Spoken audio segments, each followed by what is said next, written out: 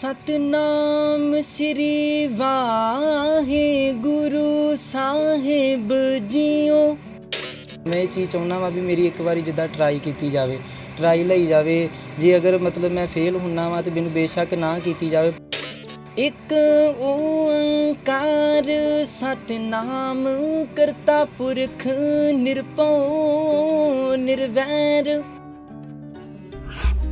ਤੇ ਮਨ ਜਿਹਾ ਨਾ ਮਤਲਬ ਉਦਾਸ ਹੋ ਗਿਆ ਸੀ ਇਸ ਚੀਜ਼ ਤੋਂ, ਵੀ ਸਾਰੀ ਸਾਰੀ ਰਾਤ ਜਾਗਣਾ ਪੈਂਦਾ ਸੀ, ਹਨਾ, ਤੇ 500 ਰੁਪਿਆ ਦੂਜੇ ਤੀਜੇ, ਦੂਜੇ ਦਿਨ ਮਤਲਬ ਮਿਲਦਾ ਹੁੰਦਾ ਜੀ।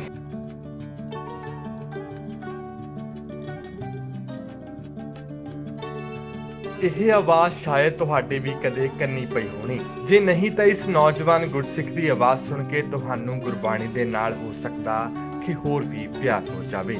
ਪਰ ਕਲਯੁਗ ਦੇ ਇਸ ਦੌਰ ਵਿੱਚ ਲੋਕਾਂ ਨੇ ਇਹ ਸਿੰਘ ਨੂੰ ਵੀ ਨਹੀਂ ਬਖਸ਼ਿਆ। ਜਿਸ ਦੀ ਮੀਡੀਆ ਰਾਹੀਂ ਇਹੀ ਬੇਨਤੀ ਹੈ ਕਿ ਉਸ ਦੀ ਕਲਾ ਨੂੰ ਕੋਈ ਜ਼ੋਹਰੀ ਮਿਲ ਜਾਵੇ, ਤਾਂ ਜੋ ਉਸ ਨੂੰ ਆਪਣੇ ਮਾਪਿਆਂ ਦੇ ਲਈ ਉਮਰ ਭਰ ਖਿਲਾਉਣ ਦਾ ਕੋਈ ਰਾਹ ਲੱਭੇ। ਸਤਨਾਮ ਸ੍ਰੀ ਵਾਹਿਗੁਰੂ ਸਾਹਿਬ ਜੀਓ। ਇੱਕ ਓੰਕਾਰ ਸਤਨਾਮ ਕਰਤਾ ਪੁਰਖ ਨਿਰਭਉ ਨਿਰਵੈਰ। ਅਕਾਲ ਮੂਰਤ ਅਜੂਨੀ ਸੈਭੰ ਗੁਰ ਪ੍ਰਸਾਦ ਜਪ। ਆਦ ਸੱਚ ਜੁਗਾਦ ਸੱਚ ਹੈ ਪੀ ਸੱਚ। ਨਾਨਕ ਹੋਸੀ ਪੀ ਸੱਚ। ਕਿੰਨਾ ਸਮਾਂ ਹੋ ਗਿਆ ਤੁਹਾਨੂੰ ਪਾਠ ਕਰਦਿਆਂ ਨੂੰ? ਮੈਨੂੰ ਵਾਹਿਗੁਰੂ ਮੈਂ 2006 ਤੋਂ ਲੈ ਕੇ ਹੁਣ ਤੱਕ ਮਤਲਬ ਮੈਨੂੰ ਕਾਫੀ ਕਹਿ ਲਓ ਵੀ 16 17 ਸਾਲ ਹੋ ਗਏ ਨੇ। ਗੁਰੂ ਦਾ ਤੁਸੀਂ ਪਾਠ ਕਰਦੇ ਹੋ ਇੰਨੀ ਮਿੱਠੀ ਤੁਹਾਡੀ ਆਵਾਜ਼ ਆ। ਫਿਰ ਵੀ ਘਰ 'ਚ ਗਰੀਬੀ ਕਿਉਂ ਨਹੀਂ ਗਈ? ਹਾਲਾਤ ਅੱਜ ਵੀ ਜਿਹੜੇ ਆ ਮਾੜੇ ਹੀ ਹੋਣ। ਵਾਹਿਗੁਰੂ, ਮੈਂ ਨਾ ਦੇਖੋ, ਜੇ ਮਤਲਬ ਕਹਿ ਲਓ ਵੀ ਇੱਕ ਗਰੀਬ ਫੈਮਿਲੀ ਦੇ ਵਿੱਚੋਂ ਆ, ਹਨਾ। ਅੰਮ੍ਰਿਤਸਰ ਅਸੀਂ ਮਤਲਬ ਪਹਿਲੋਂ ਕਿਰਾਏ ਤੇ ਰਹਿੰਦੇ ਹੁੰਦੇ ਸੀ, ਕਿਰਾਏ ਤੇ ਰਹਿ ਕੇ ਤੇ ਮੇਰੇ ਮਾਤਾ ਜੀ ਕੰਮ ਕਰਦੇ ਸੀ ਫੈਕਟਰੀ ਦੇ ਵਿੱਚ, ਹਨਾ। ਤੇ ਮੈਂ ਸਿਰਫ ਇੱਕ ਪਾਠ ਕਰ ਸਕਦਾ ਸੀ, ਮੈਂ ਪਾਠ ਕਰਨੇ, ਮੈਂ ਕਾਫੀ ਚਿਰ ਮਤਲਬ ਪਾਠ ਕੀਤਾ 5-6 ਮਹੀਨੇ, ਤੇ ਮਨ ਜਿਹਾ ਨਾ ਮਤਲਬ ਉਦਾਸ ਹੋ ਗਿਆ ਸੀ ਇਸ ਚੀਜ਼ ਤੋਂ, ਵੀ ਸਾਰੀ ਸਾਰੀ ਰਾਤ ਜਾਗਣਾ ਪੈਂਦਾ ਸੀ, ਹਨਾ। ਤੇ 500 ਰੁਪਿਆ ਦੂਜੇ ਤੀਜੇ, ਦੂਜੇ ਦਿਨ ਮਤਲਬ ਮਿਲਦਾ ਹੁੰਦਾ ਜੀ, ਤੀਸਰੇ ਦਿਨ ਵਾ ਜਾ ਕੇ, ਹਨਾ। ਫਿਰ ਮੇਰੇ ਮਾਤਾ ਜੀ ਕਹਿੰਦੇ ਵੀ ਤੂੰ ਹੋਰ ਕੋਈ ਕੰਮ ਸਿੱਖ ਲੈ ਹਨਾ ਵੀ ਜ਼ਰੂਰੀ ਨਹੀਂ ਵੀ ਮਤਲਬ ਆਪਾਂ ਪਾਠ ਹੀ ਕਰਨੇ ਆ ਹਨਾ। ਤੇ ਚਲੋ ਮੈਂ ਮਤਲਬ ਮੇਰੇ ਕੋਈ ਯਾਰ ਦੋਸਤ ਦਾ ਫੋਨ ਆਉਂਦਾ ਵਾ ਉਹ ਮੈਨੂੰ ਕਹਿੰਦਾ ਵੀ ਤੁਸੀਂ ਬੰਬੇ ਚਲ ਜਾਓ ਮਸ਼ੀਨ ਸਿੱਖਣ ਵਾਸਤੇ ਹਨਾ ਉਹ ਕੰਮ ਮਤਲਬ ਤੁਸੀਂ ਸਿੱਖ ਲਓ। ਉਹ ਕੰਮ ਜਿੱਦਾਂ ਮਤਲਬ ਮੈਂ ਸਿੱਖਣ ਵਾਸਤੇ ਜਾਣਾ ਵਾਂ ਕਾਫੀ ਸਮਾਂ ਮੈਂ 6-7 ਮਹੀਨੇ ਉੱਥੇ ਵੀ ਲਾਉਣਾ ਵਾ ਹਨਾ। ਤੇ ਮਨ ਦੇ ਵਿੱਚ ਇੱਕ ਬੜਾ ਮਤਲਬ ਰੋਸ ਆਉਂਦਾ ਸੀ ਮਨ ਬੜਾ ਉਦਾਸ ਸੀ ਇਸ ਚੀਜ਼ ਨੂੰ ਵੀ ਸਾਡੇ ਕੋਲ ਮਤਲਬ ਅਸੀਂ ਉੱਥੇ ਵੀ ਇੰਨਾ ਸਮਾਂ ਲਾਇਆ ਸਾਰੀ ਜ਼ਿੰਦਗੀ ਮਤਲਬ ਉੱਥੇ ਲਾਈ 6 ਤੋਂ ਲੈ ਕੇ 14 ਤੱਕ ਹਨਾ? ਤੇ ਇੱਥੇ ਵੀ ਹੁਣ ਮਤਲਬ ਇਹਨਾਂ ਦੀਆਂ ਰੋਟੀਆਂ ਬਣਾਉਣੀਆਂ ਕੱਪੜੇ ਧੋਣੇ ਮਸ਼ੀਨ ਨੂੰ ਕੱਪੜਾ ਮਾਰਨਾ ਹਨਾ? ਫਿਰ ਪਤਾ ਨਹੀਂ ਕਦੋਂ ਆਊਗੀ ਕਦੋਂ ਨਹੀਂ ਆਊਗੀ ਕਦੋਂ ਅਸੀਂ ਘਰ ਖਰਚਾ ਭੇਜਾਂਗੇ ਹਨਾ? ਕਿਉਂਕਿ ਮੇਰੇ ਮਾਤਾ ਜੀ ਸੀ ਉਹਦਾ ਪਿਤਾ ਜੀ ਵੀ ਹੈਗੇ ਪਰ ਉਹਨਾਂ ਨੂੰ ਮੈਂ ਖਰਚਾ ਖੁਰਚਾ ਜਿੱਦਾਂ ਮਤਲਬ ਦਿੰਨਾ ਵਾ ਉਹ ਅਲੱਗ ਰਹਿੰਦੇ ਨੇ ਹਨਾ? ਤੇ ਮੈਂ ਮਤਲਬ ਉੱਥੇ ਕਾਫੀ ਥੋੜਾ ਚਿਰ ਰਹਿਣਾ ਵਾ ਫਿਰ ਮੇਰੀ ਵੀਡੀਓ ਵਾਇਰਲ ਹੁੰਦੀ ਆ ਹਨਾ? ਫਿਰ ਇੱਕ ਕੰਪਨੀ ਮੈਨੂੰ ਮਤਲਬ ਜਿੱਦਾਂ ਲੈ ਜਾਂਦੀ ਆ ਹਨਾ? ਉਹਨਾਂ ਨਾਲ ਚਲੋ ਕਿਉਂਕਿ ਮੈਨੂੰ ਇਹ ਕੋਈ ਵੀ ਆ ਨਾ ਜਿੱਦਾਂ ਕੋਈ ਭੁੱਖਾ ਹੋਊਗਾ ਤੇ ਉਹਨੂੰ ਕਿਤੋਂ ਵੀ ਰੋਟੀ ਮਿਲ ਗਈ ਉਹਨੇ ਜਾਣਾ ਹੀ ਜਾਣਾ ਹਨਾ?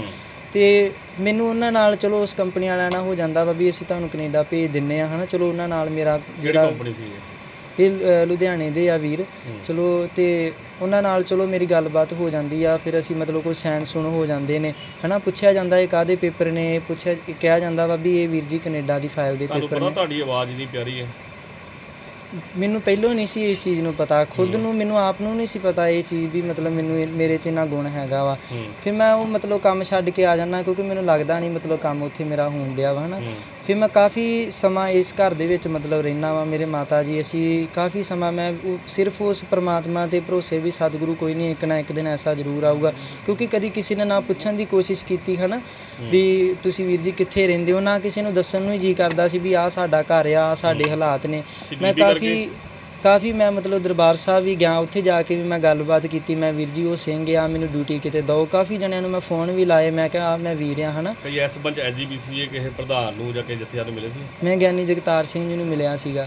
ਤੇ ਨੰਬਰ ਚਲੋ ਦੇ ਦਿੰਦੇ ਹੁੰਦੇ ਸੀਗੇ ਪਰ ਫੋਨ ਨਹੀਂ ਸੀ ਮਤਲਬ ਚੁੱਕਦਾ ਹੁੰਦਾ। ਕੋਈ ਮੈਂ ਕਈਆਂ ਨੂੰ ਫੋਨ ਕਰਨਾ ਵੀਰ ਜੀ ਮਤਲਬ ਮੇਰੀ ਹੈਲਪ ਕਰੋ ਹਨਾ। ਤੇ ਦੱਸਿਆ ਆਪਣੀ ਵੀ ਮੇਰੀ ਏਡੀ ਪਿਆਰੀ ਆਵਾਜ਼ ਆ ਮੈਂ ਐਡਾ ਸੋਹਣਾ ਪਾਠ ਕਰਦਾ ਮੈਨੂੰ ਐਜੀਬੀਸੀ ਜਗ੍ਹਾ ਹੈ ਮੈਂ ਪਾਠ ਕਰਨ ਵਾਸਤੇ। ਮੈਂ ਉਹਨਾਂ ਨੂੰ ਨਾ ਇੱਕ ਦੀਵਾਨ ਤੇ ਮਿਲਿਆ ਸੀਗਾ ਭਾਈ ਜਗਤਾਰ ਸਿੰਘ ਨੂੰ। ਉੱਥੇ ਮੈਂ ਉਹਨਾਂ ਨੂੰ ਆਖਿਆ ਸੀ ਵੀ ਮੇਰੀ ਗੱਲਬਾਤ ਕਰਿਓ ਹਨਾ? ਉਹ। ਕਹਿੰਦੇ ਸੀ ਕੋਈ ਗੱਲ ਨਹੀਂ ਤੁਸੀਂ ਆ ਜਿਓ। ਉਹਨਾਂ ਨੇ ਮੈਨੂੰ ਨੰਬਰ ਦਿੱਤਾ ਸੀਗਾ ਆਪਣਾ ਹਨਾ? ਫਿਰ ਮੈਂ ਕੁਝ ਸਮਾਂ ਫੋਨ ਕਰਦਾ ਰਿਹਾ। ਚਲੋ ਬਿਜ਼ੀ ਹੋਣ ਕਰਕੇ ਨਹੀਂ ਫੋਨ ਕਈ ਵਾਰੀ ਬੰਦਾ ਚੁੱਕਦਾ ਹਨਾ? ਕਾਫੀ ਦਿਨ ਮੈਂ ਮਤਲਬ ਫੋਨ ਕਰਦਾ ਰਿਹਾ ਪਰ ਵੀਰ ਜੀ ਜਿੰਨਾ ਚਿਰ ਕੋਈ ਮਤਲਬ ਪਿੱਛੇ ਸਹਾਰਾ ਨਾ ਨਾ ਹੋਵੇ ਉਹਨਾਂ ਚਿਰ ਕੋਈ ਨਹੀਂ ਮਤਲਬ ਕਿਸੇ ਦੀ ਬਾਹ ਫੜਦਾ ਹਨਾ? ਚਲੋ ਮੈਂ ਮਨ ਦੇ ਵਿੱਚ ਇੱਕ ਸੋਚ ਲਿਆ ਵੀ ਜਿੱਦਾਂ ਮਤਲਬ ਇਦਾਂ ਹੀ ਰਹਿਣਾ ਵਾ ਹਨਾ? ਚਲੋ ਹੁਣ ਆ ਕੇ ਕਿਤੇ 2021 ਦੇ ਵਿੱਚ ਜਿਹੜਾ ਵਾ ਮੈਂ ਮਤਲਬ ਬੋਲਦਾ ਵਾਂ ਉਸ ਚੀਜ਼ ਦੇ ਹੱਕ ਦੇ ਵਿੱਚ ਵੀ ਇਦਾਂ ਮਤਲਬ ਆ ਮੇਰਾ ਘਰ ਆ ਆ ਮੇਰਾ ਮਤਲਬ ਇਦਾਂ ਦੇ ਮੇਰੇ ਹਾਲਾਤ ਆ ਫਿਰ ਚਲੋ ਇੱਕ ਮੇਰੀ ਟੀਵੀ ਚੈਨਲ ਤੇ ਮੇਰੀ ਵੀਡੀਓ ਚੱਲਦੀ ਆ ਹਨਾ? ਤੇ ਉਸ ਤੋਂ ਬਾਅਦ ਆ ਫਿਰ ਜਿੱਦਾਂ ਮਤਲਬ ਕਾਫੀ ਸੰਗਤਾਂ ਨੂੰ ਪਤਾ ਲੱਗਦਾ ਵਾ ਵੀ ਉਹੀ ਵੀਰ ਆ ਜਿਹਦਾ ਮਤਲਬ ਅਸੀਂ ਪਾਠ ਸੁਣਦੇ ਆ ਹਨਾ?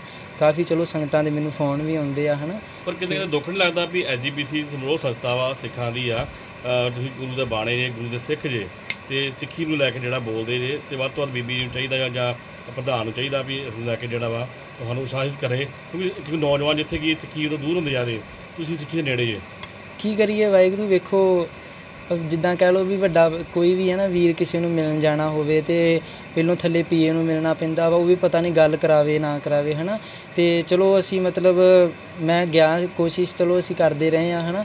ਚਲੋ ਇੱਕ ਵਾਰੀ ਬੇਨਤੀ ਕੀਤੀ ਸੀਗੀ, ਹਨਾ? ਤੇ ਚਲੋ ਉਹ ਉਹਨਾਂ ਤੇ ਆ ਜੇ ਉਹਨਾਂ ਕੋਲ ਵੀਡੀਓ ਅਗਰ ਮੇਰੀ ਜਾਂਦੀ ਆ ਤੇ ਉਹ ਜ਼ਰੂਰ ਮੇਰੀ ਹੈਲਪ ਕਰਨਗੇ, ਹਨਾ? ਚਲੋ ਮੈਨੂੰ ਮਤਲਬ ਹੈ ਵਾ ਵੀ ਇੱਕ ਮੈਨੂੰ ਸ਼ੌਂਕ ਵੀ ਹੈ ਇਸ ਚੀਜ਼ ਦਾ। ਕੀ ਮੰਗ ਕਰਦੇ ਹੋ ਆਪ? ਲਾਸਟ ਤੇ ਕੀ ਸੰਗਤਾਂ ਨੂੰ ਕੀ ਬੇਨਤੀ ਕਰਨਾ ਚਾਹੋਗੇ ਆਪਾਂ ਨੂੰ? ਸਿਰਫ ਇਹੋ ਹੀ ਆ ਵਾਹਿਗੁਰੂ, ਚਲੋ ਇੱਕ ਰੋਜ਼ਗਾਰ ਲੱਗ ਜੇ। ਮੈਨੂੰ ਇਹ ਸੀ ਵੀ ਮਤਲਬ ਚਲੋ ਮੈਨੂੰ ਇੱਕ ਵਧੀਆ ਚੰਗੀ ਸਟੇਜ ਮਿਲ ਜੇ, ਹਨਾ। ਤੇ ਮੈਂ ਮਤਲਬ ਚੰਗੀ ਸਟੇਜ ਤੇ ਜਿੱਥੋਂ ਮੈਨੂੰ ਸੰਗਤ ਮਤਲਬ ਸੁਣ ਸਕੇ, ਕਾਫੀ ਮਤਲਬ ਸੰਗਤਾਂ ਨੂੰ। ਮੈਂ ਉੱਥੇ ਡੇਲੀ ਦਰਬਾਰ ਸਾਹਿਬ ਜਾਣਾ ਵਾਂ, ਉੱਥੇ ਅਰਦਾਸ ਜਿਹੜੀ ਹੁੰਦੀ ਆ, ਮੈਂ ਅਰਦਾਸ ਮਤਲਬ ਬਹੁਤ ਸੋਹਣੀ ਮਤਲਬ ਕਰਦਾ ਵਾਂ। ਮੈਂ ਇਹ ਚੀਜ਼ ਚਾਹੁੰਦਾ ਵਾਂ ਵੀ ਮੇਰੀ ਇੱਕ ਵਾਰੀ ਜਿੱਦਾਂ ਟਰਾਈ ਕੀਤੀ ਜਾਵੇ ਟਰਾਈ ਲਈ ਜਾਵੇ। ਜੇ ਅਗਰ ਮਤਲਬ ਮੈਂ ਫੇਲ ਹੁੰਨਾ ਵਾਂ ਤੇ ਮੈਨੂੰ ਬੇਸ਼ੱਕ ਨਾ ਕੀਤੀ ਜਾਵੇ, ਪਰ ਮੈਨੂੰ ਇੱਕ ਵਾਰੀ ਜ਼ਰੂਰ ਉੱਥੇ ਸੁਣਿਆ ਜਾਵੇ ਵੀ ਮਤਲਬ ਵੀ ਜੇ ਹੈਗਾ ਕਲਾ ਤੇ ਮਤਲਬ ਮੈਨੂੰ ਉੱਥੇ ਲਾਇਆ ਜਾਵੇ। ਹਕੀਕਤ ਟੀਵੀ ਪੰਜਾਬੀ ਲਈ ਅੰਮ੍ਰਿਤਸਰ ਤੋਂ ਹਰਜੀਤ ਗਰੇਵਾਲ ਦੀ ਰਿਪੋਰਟ।